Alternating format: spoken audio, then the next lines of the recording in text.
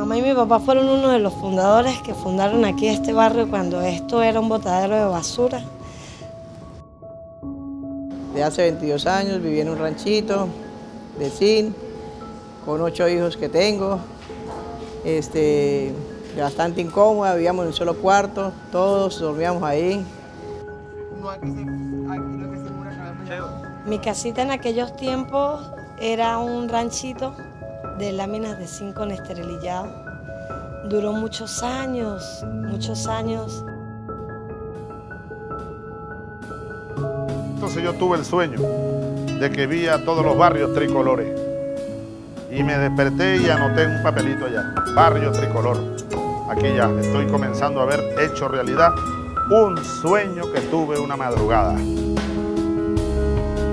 Barrio nuevo, que nos transformemos, que cambiemos al niño, que cambiemos al adolescente, que cambiemos nosotros mismos en nuestra costumbre, en nuestra tarea y en nuestras modalidades.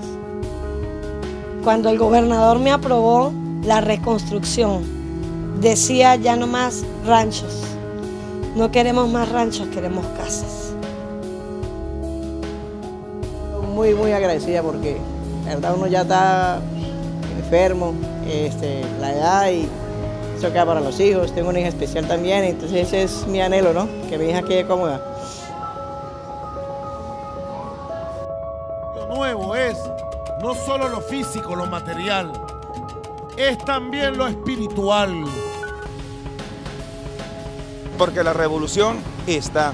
La revolución va a llegar dentro de sus comunidades, va a traer esa alegría, ese, esa gotita de amor que nuestro presidente pues, nos dio a nosotros, esa gotita de esperanza.